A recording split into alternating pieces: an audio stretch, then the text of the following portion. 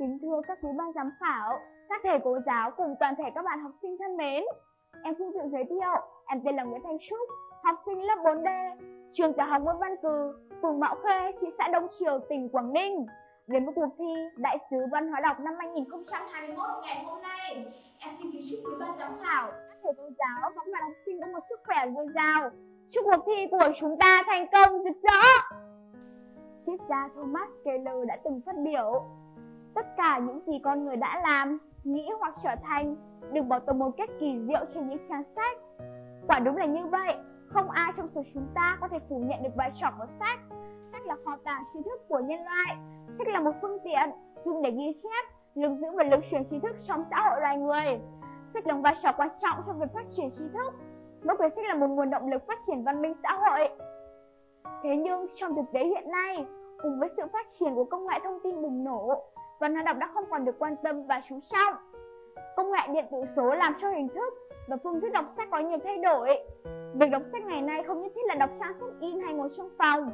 Mọi người có thể đọc trang sách điện tử bất cứ lúc nào và ở bất cứ đâu. Sự phát triển rầm rộ của các ngành công nghệ giải trí cùng với những chương trình mới lạ, đặc sắc thu hút giới trẻ theo dõi, từ đó họ lơ là về đọc sách. Một thực tế nữa là các bạn nhỏ ngày nay thường yêu thích những thứ có tính thuần giải trí như game, mạng xã hội, thần tượng. Với tiếp cận và xem mê những nguồn thông tin này thì chúng ta trở nên lười biếng, mất dần các thói quen bổ ích, chẳng hạn như là việc đọc sách hàng ngày. Thực tế, tác dụng của việc đọc sách không chỉ dừng lại ở việc tiếp thu kiến thức, mà đây còn là một biện pháp giúp hoàn thiện con người, rèn luyện cho người đọc những kỹ năng, tình cảm và thói quen hữu ích, nhằm khơi dậy niềm đam mê đọc sách, thúc đẩy phong trào trong thế hệ trẻ, hình thành thói quen và kỹ năng đọc sách cho học sinh. Em rất vinh dự được giữ cho 537 chủ tớ Hoàng vẫn Cư giới thiệu đến bạn đọc cuốn sách mà em yêu thích nhất. Bạn học sinh thân mến, bài giáo xưa có câu Chim trời ai dễ đếm lông, người còn ai dễ kể công tháng ngày. Hay như nhà thơ Chế Lan Viên đã viết Con dù lớn vẫn là con của mẹ, đi suốt đời lòng mẹ vẫn yêu con. Quả đúng là như vậy, mẹ là người đã sinh ra và nuôi nấng chúng ta bằng tất cả tình yêu thương, sự che chở. Tình yêu của mẹ dành cho chúng ta bao la như sương mù buổi sáng, ấm áp như màu nắng sớm mai và dịu dàng như bản tình ca êm ái. Nhân dịp tham gia cuộc thi Đại sứ Văn hóa đọc năm 2021, Sự Sở Văn hóa và Thể thao cùng với sự phối hợp của Sở Giáo dục và Đào tạo tỉnh Quảng Ninh tổ chức, em xin trân trọng giới thiệu đến toàn thể các thầy cô giáo và các bạn học sinh ấn phẩm Xin đừng làm mẹ khóc do công ty First New chỉ về tuyển chọn và giới thiệu. Nhà xuất bản tổng hợp Thành phố Hồ Chí Minh phát hành vào năm 2015. Cuốn sách được chọn những câu chuyện hay nhất trong bộ sách Hạt giống tâm hồn với 107 trang, khổ 14,5 cm x 20,5 cm. Nổi bật trên bìa sách là dòng chữ màu đỏ trên nền trắng tinh khiết. Bên dưới là hình ảnh hai mẹ con đang thân mật bên nhau, như muốn nói với tất cả chúng ta rằng cuộc sống là sự hạnh phúc, tròn đầy và viên mãn khi ta có mẹ ở bên. Xin đừng làm mẹ khóc lấy những câu chuyện giản dị mà đầy ý nghĩa về mẹ, về tình mẹ con thiêng liêng, cao quý. Bằng lời viết trong sáng, giàu cảm xúc, cuốn sách dần đưa người đọc trở về với những ký ức tuổi thơ được gắn bó bên mẹ, là những chuỗi ngày được tắm mát trong suối nguồn yêu thương. Mỗi một trang sách được lật qua là mở ra cuộc đời của mẹ, mà con có dùng cả cuộc đời của mình để báo đáp cũng không sao sánh bằng. Từ trang sách như lấp lánh giấy sáng nhiệm màu, toát ra từ đôi quang gánh, từ những con đê, thửa ruộng, những quãng đường, những mảnh đất mà mẹ đã đi qua. Ngay từ những trang viết đầu tiên, câu chuyện quà tặng của mẹ đã khiến bác trái tim người đọc cảm động đến rơi nước mắt. Con của tôi đâu? Người mẹ trả hỏi trong nỗi vui mừng sau một cuộc vượt cạn mệt nhọc. Một đứa trẻ khuyết tật luôn phải chịu thiệt thòi trong cuộc sống.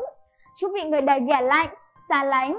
Nỗi đau này như nhát dao cứ vào trái tim của người mẹ, ôm chặt con vào lòng, người, người mẹ như ôm chặt cả nỗi đau trong trái tim của mình. Nhưng với tình yêu bao la, người mẹ đã bù đắp cho đứa con thân yêu của mình, bỗng chốc trở thành một người có vẻ ngoài hoàn hảo giống như bao người bình thường khác. Tình yêu của mẹ dành cho con có thể làm nên những phép màu kỳ diệu. Mẹ chính là món quà vô giá mà, mà cuộc sống đã ban tặng cho chúng ta. Hãy đến với câu chuyện một người mẹ kỳ lạ. Mẹ đã ban tặng cho chúng ta những gì tốt đẹp nhất trong cuộc sống này. Một người mẹ yêu thương con nhưng không bao giờ chiều theo những ý muốn của con mà nghiêm khắc dạy bảo con nên người, trở thành một người tốt và được xã hội kính trọng.